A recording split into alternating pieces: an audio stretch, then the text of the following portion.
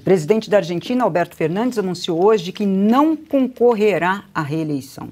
Ele comunicou sua decisão por meio de um vídeo na internet. Em quase oito minutos de gravação, Fernandes disse que não teria tempo para uma campanha. A reeleição de Fernandes já era considerada improvável.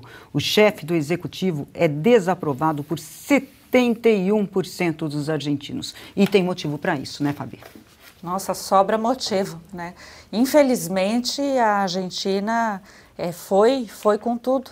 Mas é, a gente fica pensando, ainda estou lembrando aqui das palavras do Augusto Nunes, e eu quero voltar para o cenário aqui do Brasil, porque a gente, ele falava aí do, né, do que o Lula teria dito, que não é verídico, porque também eu, eu, não consigo imaginar nem o Lula de operário. Será que um dia realmente ele vestiu né, aquele macacão? E para juntar também, ele fez essas falas recentes agora, quando na China, ele disse que ele é um assíduo, né, que ele assiste o futebol chinês todos os dias. Gente, eu fico imaginando a rotina do Lula, porque ele tem que acordar, ou sei lá que horas que é o futebol chinês para assistir, e depois ele fica pensando todos os dias a respeito também, né, das pautas que ele fala, essas baboseiras no dia a dia aí. Então, a vida de Lula realmente é uma coisa que não tem nada de verdade. Silvio, do cenário econômico, a Argentina enfrenta a inflação mais alta das últimas três décadas, com juros de 104% ao ano. Silvio? De... Oi, Cris, você me ouve? Sim, agora sim. Agora sim. É, é eu acho que estava cortado aí o áudio. Ô, Cris, veja só, é, a Argentina, em 40 anos, de, desde a, a, sua redemocratização, a Argentina enfrentou nove crises econômicas que, evidentemente, acabam se degenerando em crises políticas. E hoje, segundo analistas, é, próprio La Nación, para citar aqui, o, talvez hoje o principal jornal argentino, eles apontam que esta, a crise atual da Argentina, já pode ser considerada a maior da história, já superior àquela crise do Corralito, aquela crise da virada dos anos 2000, quando tínhamos o governo de Fernando de la Rua, ele que teve que sair de helicóptero da Casa Rosada porque uma multidão cercou o palácio e você teve a, os históricas cenas dos panelaços na Praça de Maio. A Argentina hoje tem 40% de pessoas consideradas pobres. Desse número, 8% pode ser considerada indigente. A Argentina tem pouco mais de 40% de pessoas é, argentinos que vivem dependentes de benefícios sociais do governo. E esses benefícios se tornaram, em algumas províncias, inclusive, uma espécie é, de. A dependência ela extrapola e acaba se tornando um meio de vida. Por quê? A, a, as mulheres, elas, quanto mais filhos elas tiverem, mais elas recebem. Então, uma, uma mulher que tiver, por exemplo, dois, três filhos, ela vai receber muito mais do que se fosse uma assalariada, uma funcionária de alguma empresa. Então, isso fez da Argentina uma verdadeira fábrica de pobres com o tempo. A Argentina tem uh, uma falta de crédito internacional gigantesca e falta de confiança lá fora, tanto dos Estados Unidos quanto do Fundo Monetário Internacional, porque é caloteira.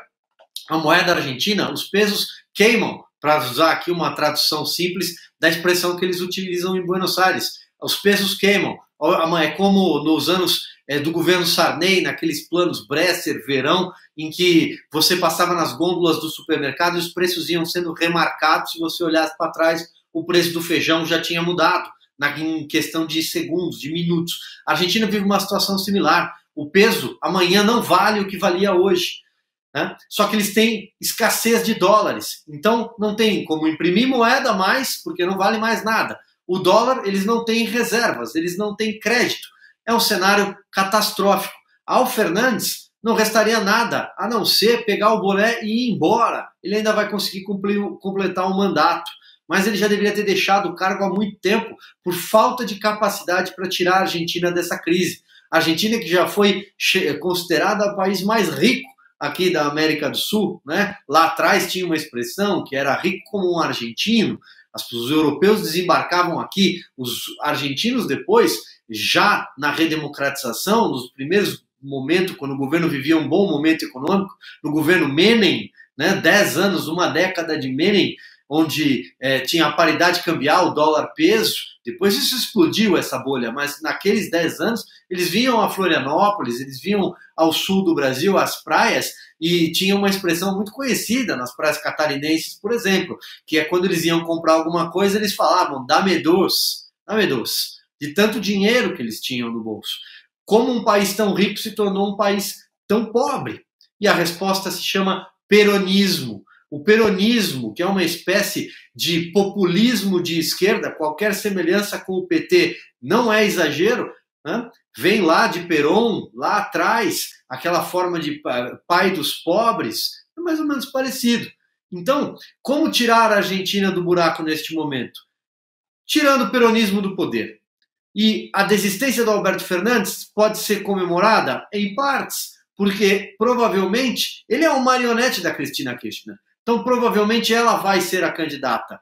E a Cristina Kirchner, sabe-se Deus por que ela ainda tem algum eleitorado. A Argentina é um tango, eles gostam de sofrer.